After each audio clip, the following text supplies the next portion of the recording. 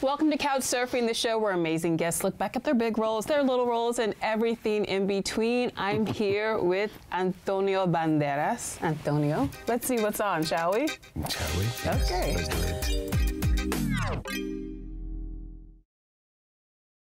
So this character is essentially like if Zorro and a cat mated, you This would is- have Puss in Boots. This is this character is a possibility that my professional life gave me to laugh off myself, Really? literally.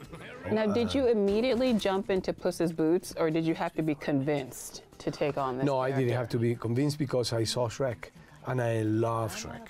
And so the interesting decision made here was the voice that I was going to use. I was in Broadway at the time, and I had to do my first session, and they showed me, you know, a lot of uh, paintings of the character, and I saw how little he was. And they want me to do a little voice. They want my accent in Spanish, obviously, but uh, with a little voice like that, like that. And I thought, no, no, no, no, no, no.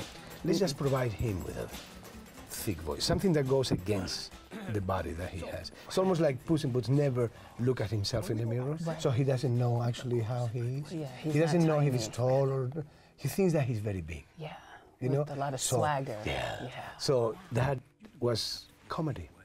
That's what it's called. It was comedy gold. And uh, so we had a lot of fun with this character, and he was adored all around the world.